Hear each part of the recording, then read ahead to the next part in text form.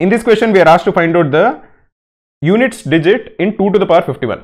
Whenever you are given this kind of a question, you should remember that there is a cyclicity involved.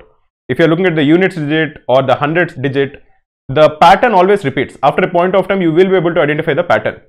For example, 2 to the power 1, the last digit is 2. In 2 square, the last digit is 4. In 2 cube, the last digit is 8.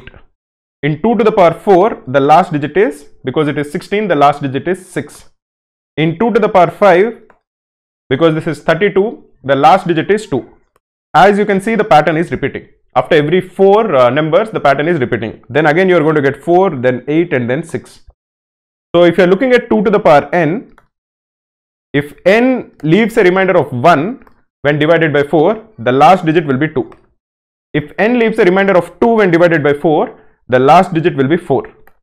If n leaves a remainder of 3 when divided by 4, the last digit is 8. And if n leaves a remainder of 0, that is if it is a multiple of 4, the last digit will be 6.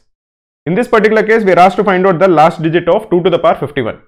51 leaves a remainder of 3. So the last digit will be equal to 8. For more CAT formula PDF, Google search Cracku CAT formula PDFs.